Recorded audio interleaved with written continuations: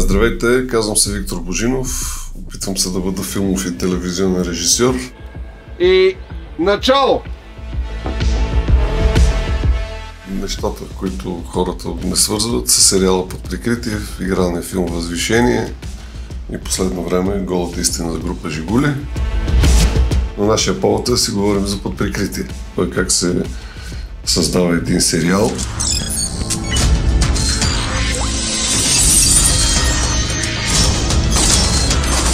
Най-важното за един телевизионен сериал е да се знае, че това е колективно занимание. Тоест, обема на продукцията е такъв, че изисква различни видове подход. Главният подход, разбира се, е сценарния. Първият въпрос, който трябва човек, как да кажа, да си зададе каква история искаме да разкажем и защо искаме да я разкажем в повече от един епизод. Имахме екип от доб- добри сценаристи, които създадаха Библията в първоначалния вариант, след което този проект получи подкрепа от националната телевизия, което всъщност даде възможност да се съберат доста качествени хора и качествен екип, който да застане за цялото нещо. Сценария не е константа, сценарият е нещо, което се развива. Когато тръгне историята, тя започва да те води да те води по някакъв начин самостоятелно. В случай с подприкритие беше много важно, че работихме с консултанти, с Слави Ангел, който е разследва журналист, с достъп до много истории, които са от тази територия. Той даде един такъв е, гръбнак, който да обрасне нали, с драматургична тъканка, за да може историята да придобие една плътност и една автентичност. Да не говорим, че имаше и такива ситуации, в които се твърдеше, че престъпниците в България гледат сериал под прикритие и мислят какво да правят след това. По отношение на, на подготовката, както и при игрален филм, така и при сериала, основно нещо в подготовката е избор на актьорите. Защото в един сериал ансамбъл от, от актьори е по-голям, отколкото от, от обикновен филм. И затова задачата беше много важна.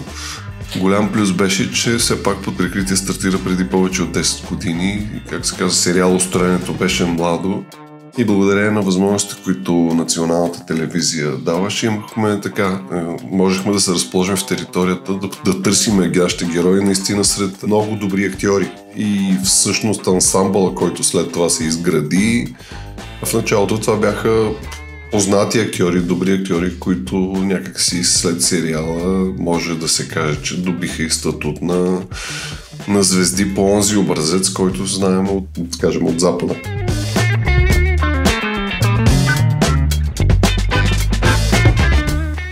В този смисъл, когато тези основни компоненти са събрани, много е важно да се поддържа интригата и да се поддържа интерес на всички тези хора. И това е следващото нещо, важно според мене, в случая с подприкритие, беше, че някакси ние успяхме да поддържаме това да ни е интересно, това да искаме да направим дори неща, които не бяха правени до този момент, да кажем, в киното, дори в сериалите.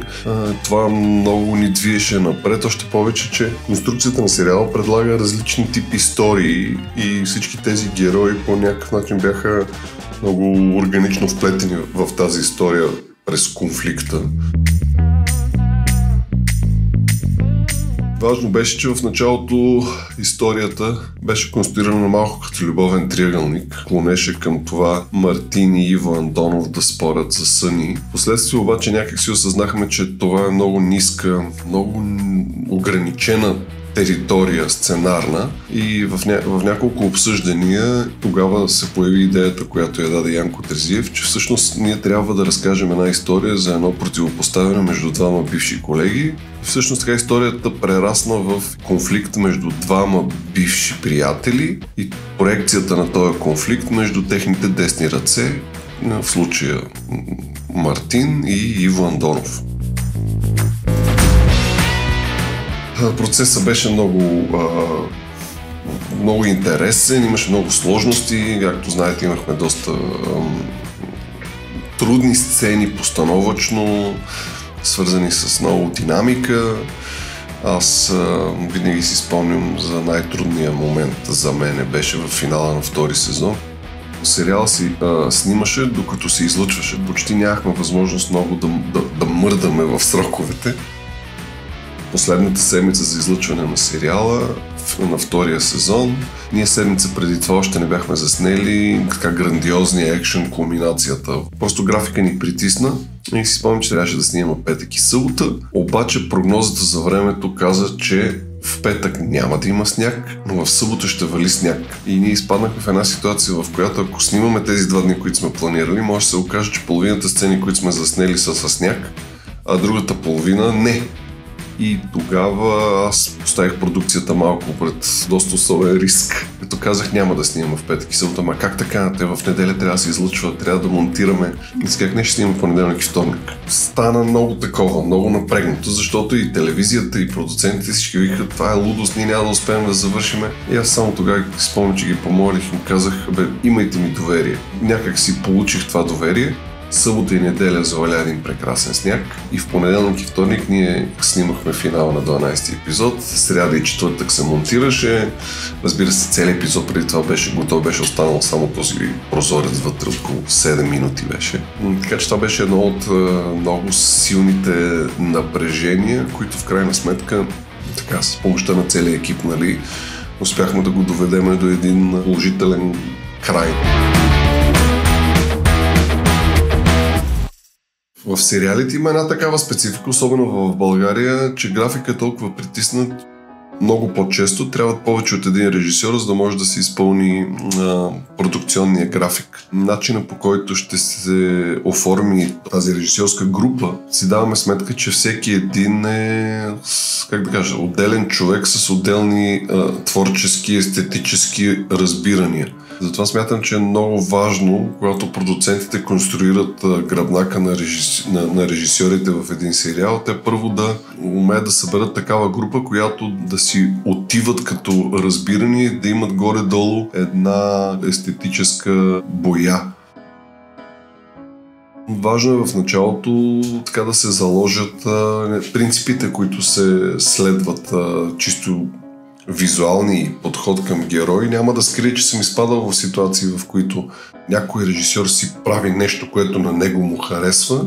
Въобщо взето никой не може да го спре, както се казва, освен на продуцента. Така че е важно да се създава група от а, самишленици,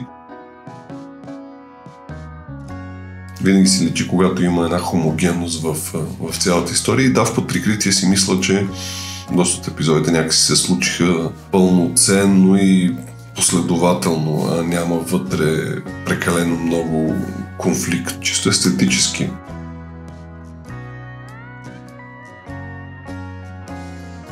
Аз мога да кажа, че съм един от първите, които как да участвало активно в основата на сериал Устроенето в България. Това беше всъщност причината да спра да, се, да бъда втори режисьор, макар че има възможност да работя за доста сериозни продукции, не само в България. Но предизвикателството да се построи филмов процес през сериалите, бърз, рефлективен, економически адекватен за ситуацията, беше голямото предизвикателство. И всъщност те така се случиха нещата, че първо беше стъклен дом, след това участвах в началото на столичани в повече, след това се появи под прикритие и някак си в подприкритие място, което останах максимално дълго, защото проекта, проекта е такъв, че той увлича и искаш да го градиш, искаш да го, да го развиваш. За мен е винаги било главното да бъдеш фокусиран в историята, в творческата задача и да се справиш съобразно възможностите, които имаш по най-оптималния начин. Под прикритие, според мен, и до ден днешен си остава един еталон, да го кажем в нашите условия, за това как се случва един успешен проект.